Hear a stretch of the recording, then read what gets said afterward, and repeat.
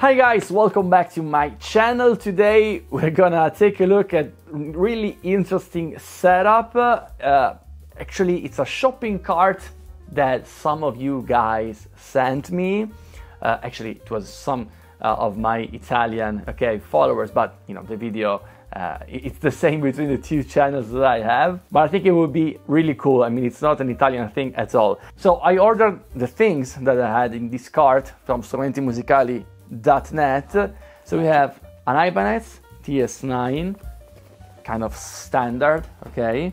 Then we have the Universal Audio, the Dream, okay, really cool pedal indeed. I love these uh, Universal Audio pedals. Oh, sorry, it was the upside down, okay. Really, really cool. Can't wait to try it out. I tried the Ruby and it was awesome. I tried this one just like for a few minutes and I really liked that. So really curious, you know, to stress it out and try it out properly.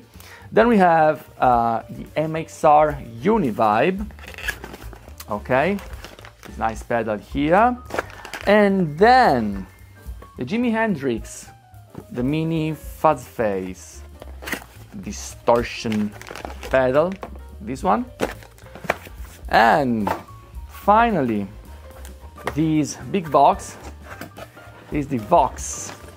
Seems like a, a shoe, something. okay, the Wah-Wah pedal.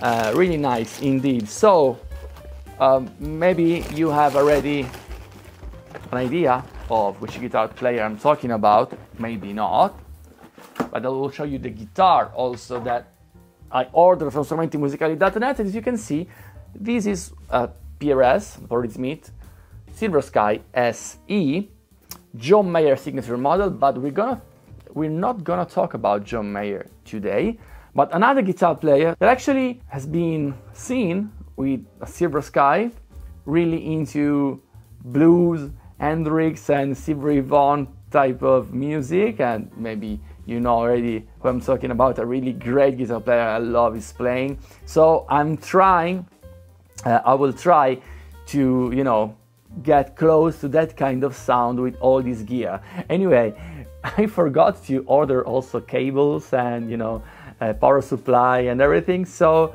give me a minute. I mean, you will see already the thing already done. And so see you now.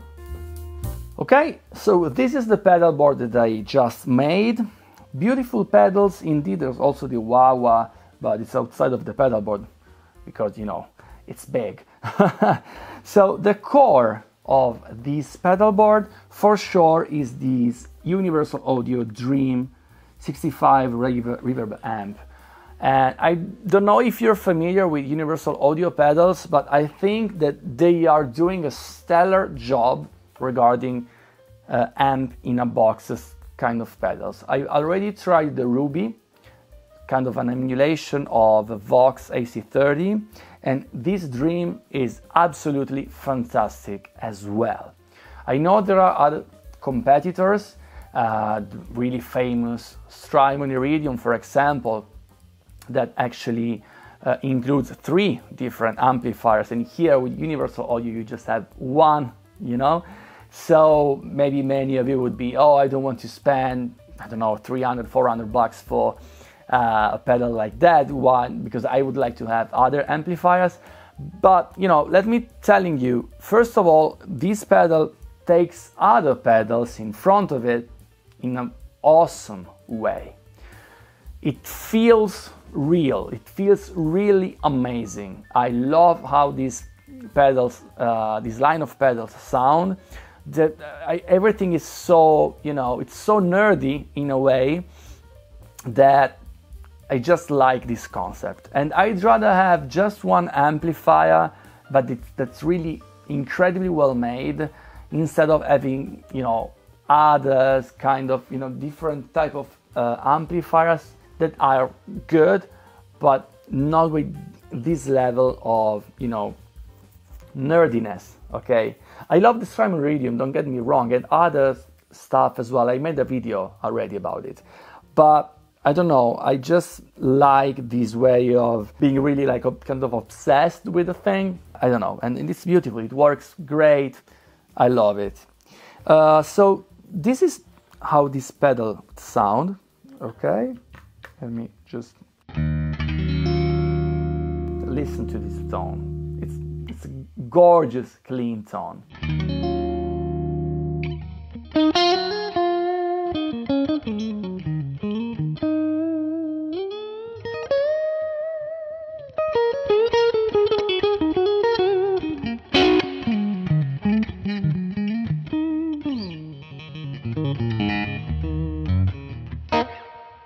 I mean, uh, we always kind of um, say that in amp modeling, it's really hard to make the kind of breakup tones uh,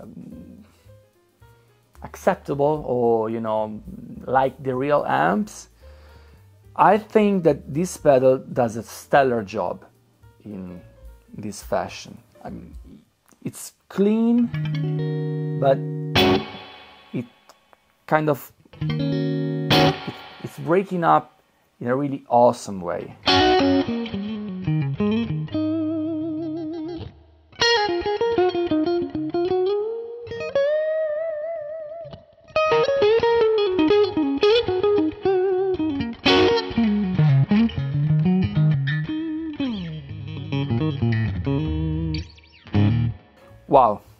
Just amazing. And of course you have different mm, parameters parameters that you can change and tweak you know the volume so you will have more gain uh, the reverb the general output bass treble a booster like a built-in boost. If you want to crank it up even more uh, you can you can absolutely do that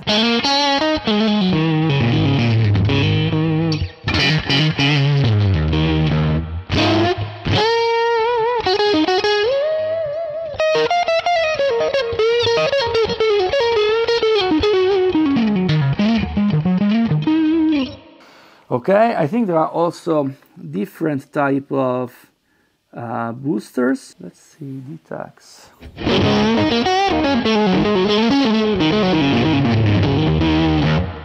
I think, yeah, maybe it's this one. Yeah.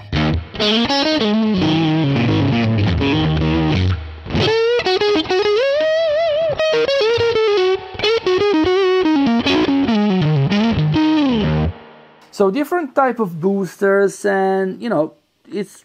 I think you can tell that everything. Uh, the the response is great. The harmonics. I mean, if I had to, if I had to buy um, an amp in a box pedal, I would definitely go for one of these. I haven't tried the Lion yet. I'm really curious to try it out because seems like a really nice and I'm kind of into Marshall type of tones as well so maybe it will be featured on this channel in the next videos. So if you kindly want to subscribe to my channel it would be really appreciated. Uh, it would be really helpful for me so thank you very much if you do so. Moving on you know the perfect match if you don't want to use the booster that's on board of the dream. So if I step on the tube screamer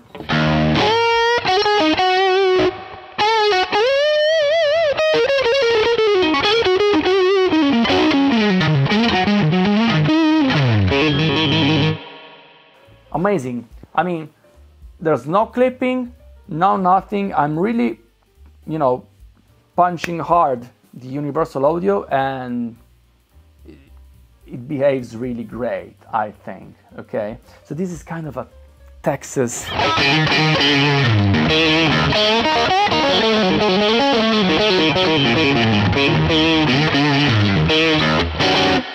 kind of Texas blues type of tone.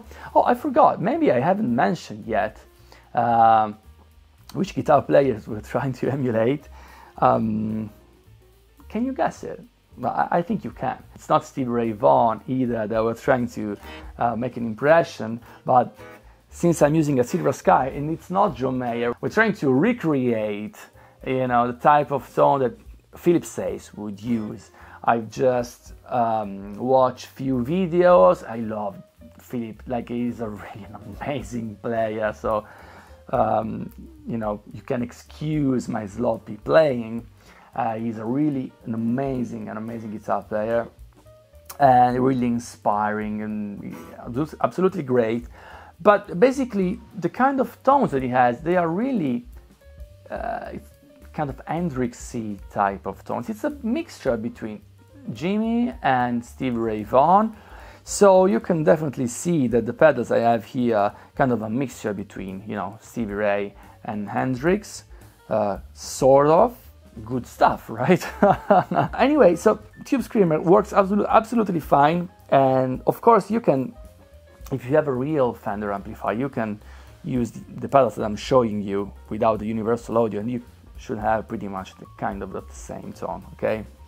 Um, oh, I forgot to mention, I'm using the EV12 IR because apparently uh, Philip Sayce it's using an EV speaker as well, and I think it's the, my favorite one.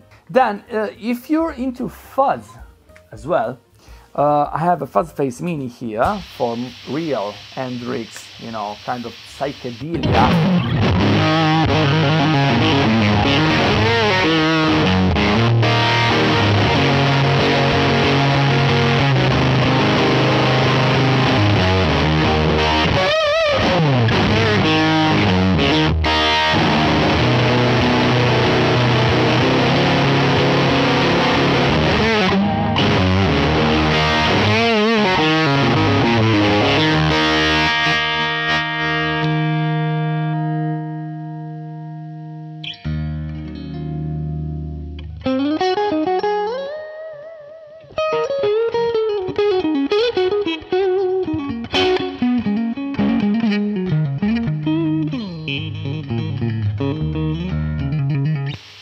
I mean, how wonderful is the fuzz, right? You can go for totally crazy gain, uh, gain stuff to almost perfectly clean with just, you know, turning the volume. I mean, this setup is kind of organic. I mean, it promotes to play in that way. I love it. I love it. It's really, really nice, okay? And then if you want to have a little bit more psychedelia, you can use the Univibe for instant Hendrixy type of, you know, uh, tones.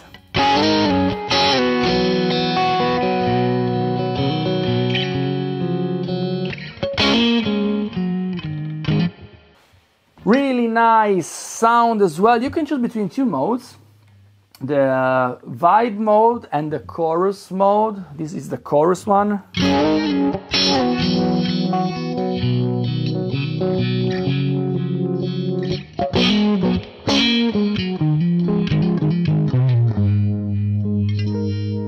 Probably this is the more Hendrixy one.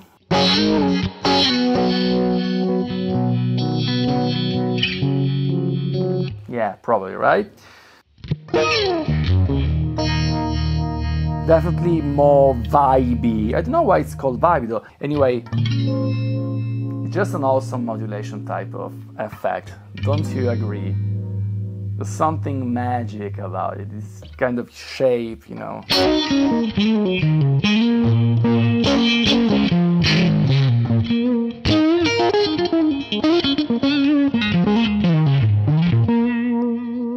Let me just put a fuzz as well.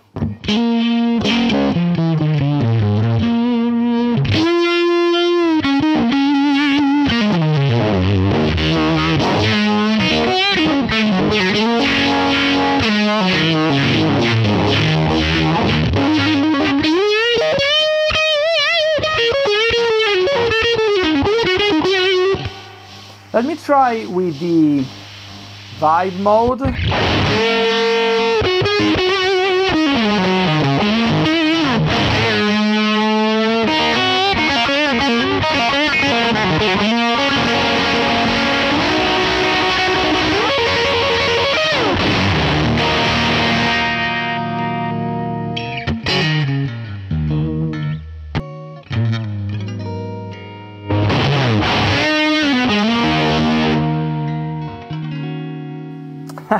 this is just crazy, right?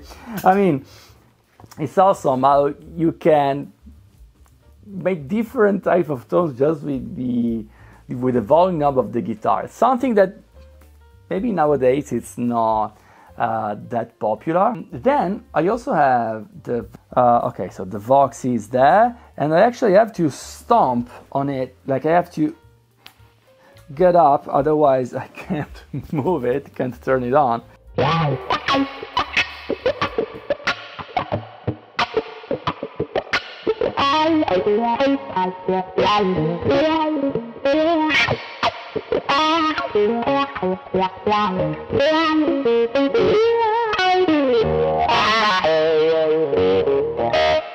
Let's turn on the fuzz as well.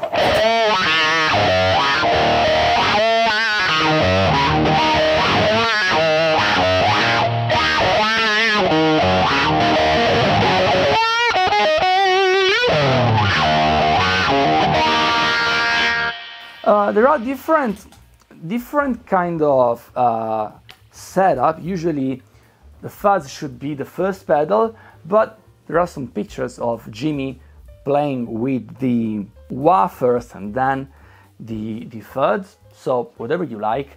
I put it this way because it's more comfortable for this pedal board. I don't know, let me know which setup would you prefer. Anyway, I think these tones, they are already great like per se, but if you want to hear them in a context, uh, this is just a little reel that I made.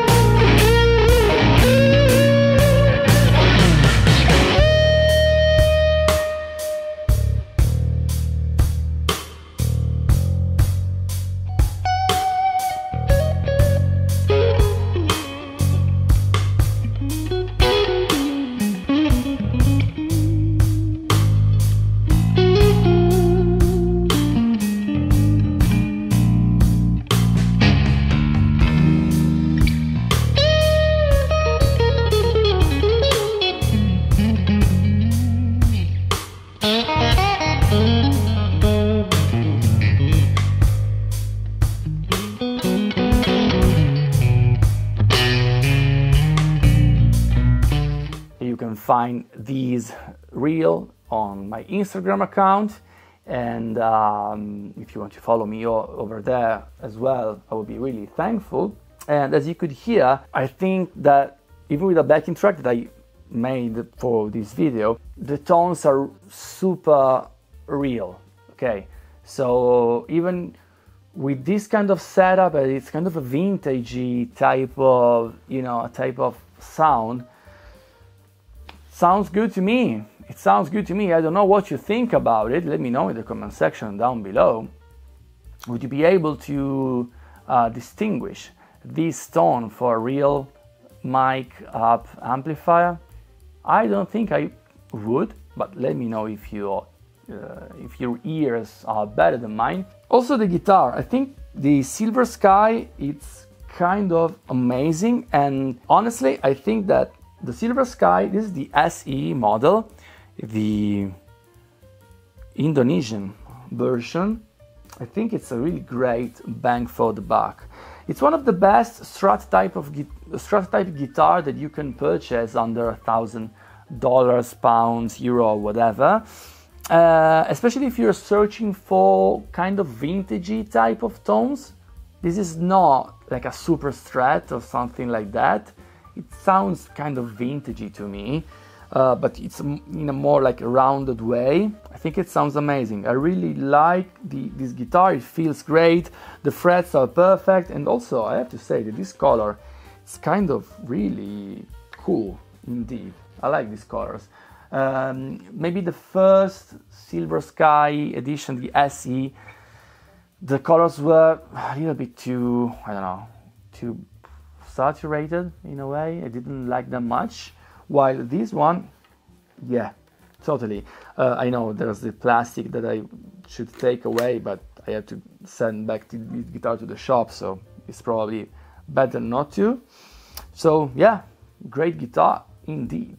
If you like some of these pedals, you can check out the links in the description down below.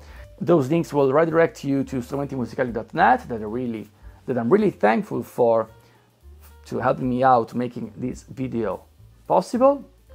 And again, if you want to subscribe to the channel, if you haven't done already, please do so. It would be really appreciated. And yeah, I think it's pretty much it for today, guys.